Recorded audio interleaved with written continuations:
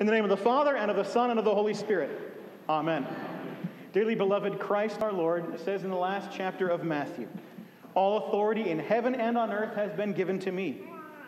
Therefore, go and make disciples of all nations, baptizing them in the name of the Father, and of the Son, and of the Holy Spirit. In the last chapter of Mark, our Lord promises whoever believes and is baptized will be saved.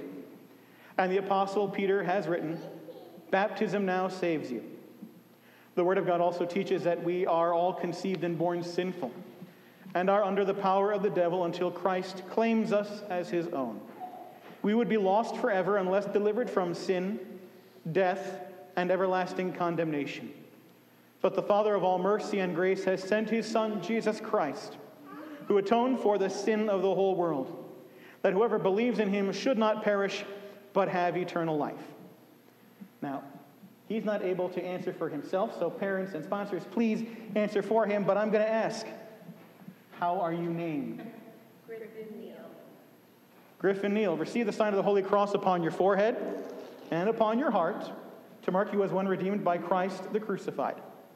Griffin Neal, I baptize you in the name of the Father and of the Son and of the Holy Spirit. Amen.